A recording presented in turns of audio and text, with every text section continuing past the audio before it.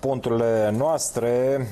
Am vorbit de Arsenal Sporting, dar de asemenea pentru orice partidă pe care o veți găsi în oferta zilei de mâine pe Europa League, aveți pe site-ul nostru pariul1x2.ro o cotă de 50, intrați să o vedeți acolo, așadar orice pariu veți face, o cotă de 50. De asemenea, cota 2 explicată, bilețelul de cotă 2, strategia noastră pentru această, această modalitate de pariere. Am scris un articol și îl găsiți pe site-ul nostru, pariul1x2.ro.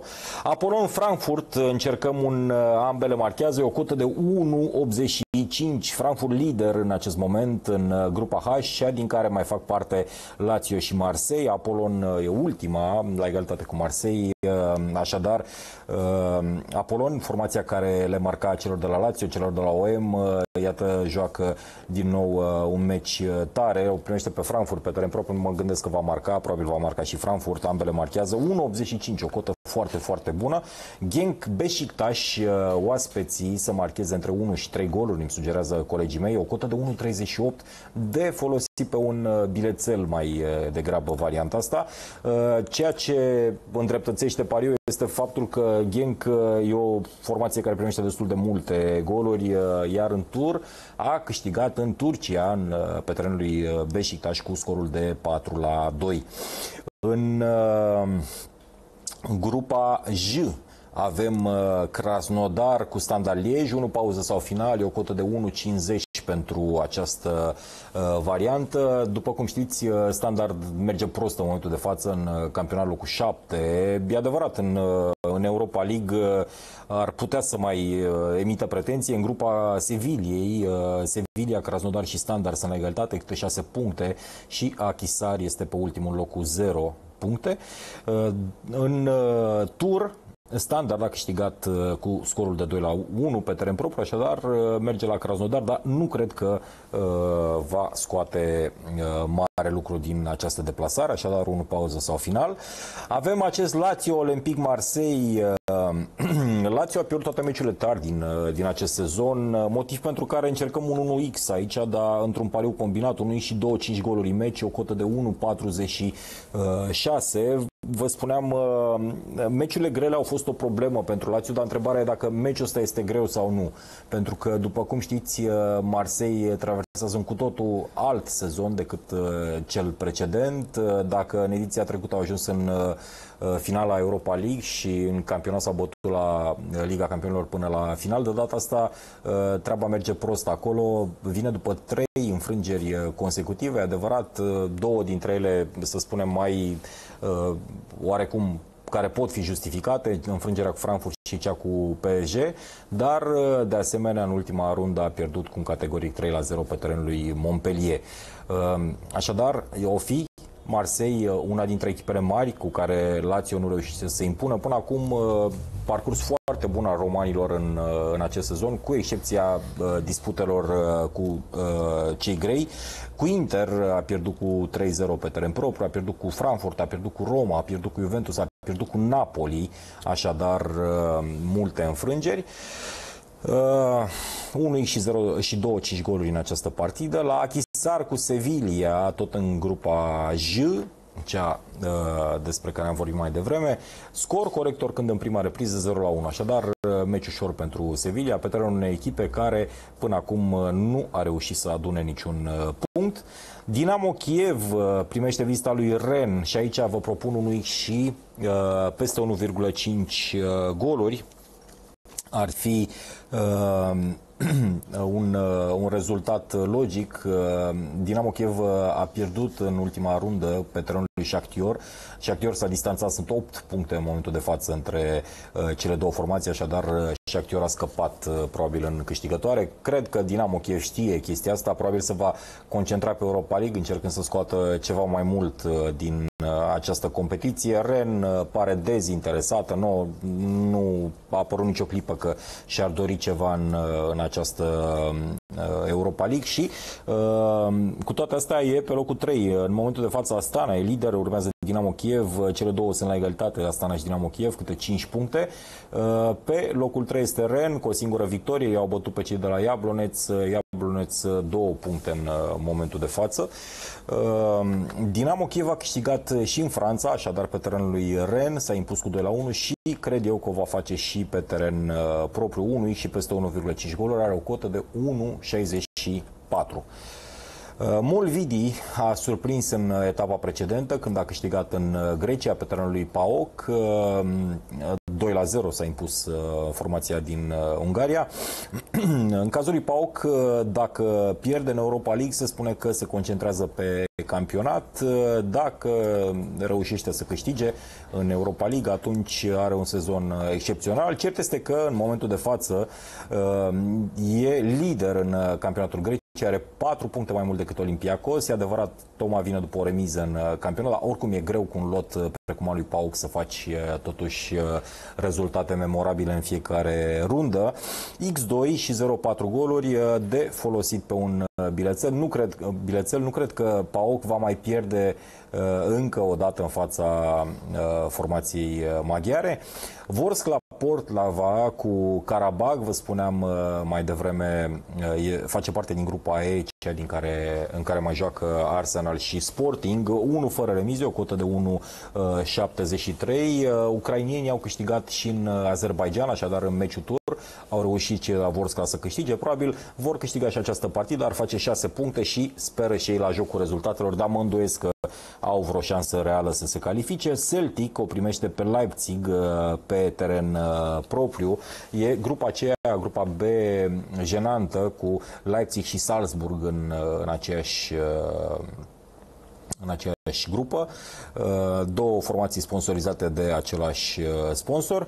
În momentul de față, Salzburg e lider, are 9 puncte, Leipzig este pe 2 cu 6 puncte, urmează Celtic 3 puncte și Rosenborg 0. Leipzig, evident, uh, formația mai bună. În ultima vreme și-a schimbat uh, jocul, cel uh, care în ediția trecută, ediția precedentă, impresionase jocul acela extrem de ofensiv, dar cu multe erori defensive, mult mai bine stă din punct de vedere al apărării Leipzig și în momentul de față traversează o perioadă fără gol primit de vreo 6-7 partide. Așadar, X2 și peste 1,5 goluri, o cotă de 1,47. Leipzig ar putea câștiga această partidă. Celtic uh, vine după un uh, rezultat nemaipomenit, a bătut în campionat pe Hearts, uh, liderul campionatului adevărat. Uh, Celtic are un meci mai puțin acum față de Hearts, dar a bătut cu 5-0 Celtic pe Hearts, așadar vom vedea, cred, uh, ceva goluri aici. Avem Betis AC Milan, uh, două 4 goluri în meci. Ehm, Betis a câștigat uh, pe terenul lui Milan cu 2 la 1 partida tur. Ehm, Milan a reușit uh, și ea uh, câteva partide bune de moral în ultima vreme. În campionat a reușit să le învingă pe Genoa, Restanță, Sampdoria și Udineze, așadar trei victorii consecutive pentru milanezi. Nu la fel de bine stau cei de la Betis în privința moralului cu un singur punct în ultimele patru etape. E adevărat, un 3-3 în ultima rundă acasă cu Celtic. Rosenborg uh, joacă cu Salzburg, uh, gazdele marchează, o cotă de 1,48. Uh, Rosenborg a, a jucat acasă cu Leipzig și a reușit să-i marcheze. Adevărat, a pierdut cu 3 la 1, dar probabil va marca și cu Leipzig, va marca și cu Salzburg. Fenerbahce joacă cu Anderlecht, două echipe total pe altă planetă în momentul de față. Fener locul 16, prima deasupra liniei în, sau 15, prima deasupra liniei în uh, Turcia, Anderlecht locul 4, un tur a fost 2 la 2, așadar ne așteptăm și acum uh, la goluri și mai avem Astana cu Iabloneț, uh, gazdele să câștige cel puțin o repriză, Iabloneț modestă, două rezultate de egalitate până în momentul de față. Mergem mai departe, haideți să vedem care sunt cotele la titlu în Liga 1.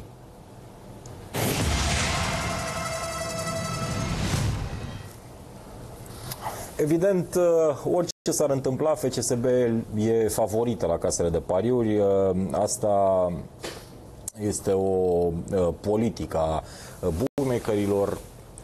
Cred că vă imaginați de ce. Nu e vorba de o susținere, ci pur și simplu foarte multă lume pariază pe FCSB. 2 și 10 cota echipei lui Gigi Becali pentru câștigarea campionatului. CFR Cluj 2,30, până aici nimic interesant, dar de aici încolo Uh, sunt cote bune pentru cei care vor uh, să riște un pic uh, pentru la vară. Spre exemplu, noi mizăm pe câștigarea campionatului, Craiova să câștige campionatul cota 10. Asta ar însemna că undeva până în mijlocul lunii mai am primit și rezultatul. 10 10 lei pariați acum ne aduce 100 de lei, iar 100 de lei pariați acum ne aduce 1000 de lei dacă Craiova ar câștiga uh, campionatul. Da, e greu, e adevărat. Mult mai ofertantă și mai ofertantă e cota viitorului 31.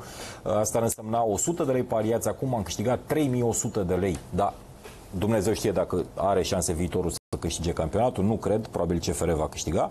Astra 41, Sepsi, Gazmetan, Dinamo 101 pentru un pariu pentru uh, Negoiță, pentru nu, Liviu Negoiță. El ar putea să parieze o sumă mare pe uh, această variantă. Avem, sau Robert, Ro, Robert, Ionuț, Ionuț, așa, nu știu, știu de Negoiță, așa știu eu. Uh, și asta e tot ce contează. La derbiul uh, Dinamo FCSB avem derbiul uh, României. Cotele sunt următoarele. Dinamo are o cotă de 3,50. X-ul are 3,30 și doi solisti FCSB favorită în această partidă, o cotă de 2 și 15.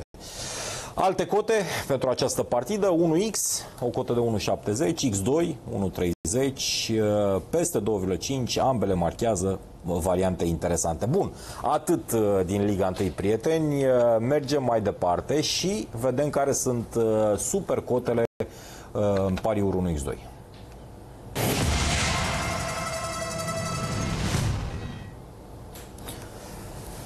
Prestații foarte bune ale uh, colegilor mei în uh, privința acestor ponturi, uh, cotele mari ale emisiunii.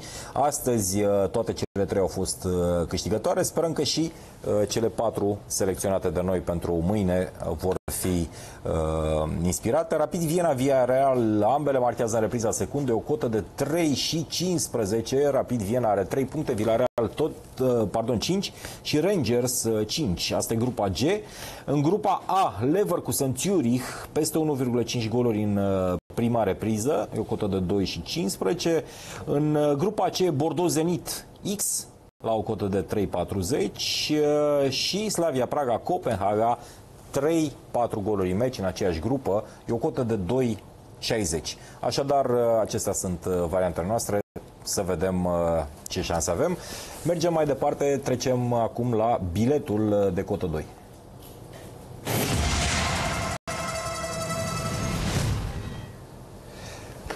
Vă spuneam pe site, pe pariuri1x2.ro, am făcut o prezentare a strategiei pentru acest bilet în cotă 2. Uh, cred că ar fi foarte bine să o citiți pentru a ști despre ce vorbim, asta în cazul în care uh, vreți să vă faceți un update. Uh, meciurile noastre sunt următoarele. Celtic Leipzig 2+, plus, Bordeaux Zenit 2 cu handicap plus 1 și Uh, Spartak Moscova Rangers 1x uh, uh, în cotă finală de 2. Așadar am mulțit cotele acelea din dreapta și am obținut cota finală a biletului 2 fix. Bun, mai avem câteva ponturi, colegii mei m-au ajutat cu câteva selecții și le vedem chiar acum.